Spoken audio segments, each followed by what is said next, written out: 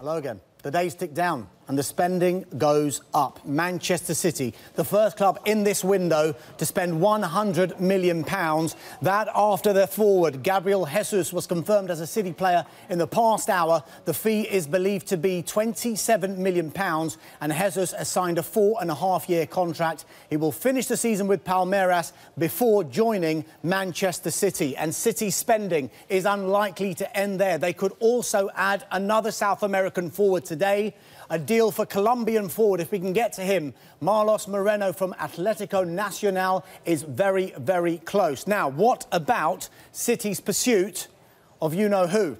John Stones. Well, there appears to be deadlock on this one. We are told Everton want £50 million and are refusing to budge on that price. This could drag on until the latter stages of this window. But Everton, they look like they're preparing for life without Stones, given their interest in the Swansea City captain Ashley Williams. We are told Williams and Swansea chairman Huw Jenkins held talks earlier this week where Williams was told of Swansea's desire to keep him. Swansea rejected a bid worth £10 million from Everton last night. Williams is expected back at pre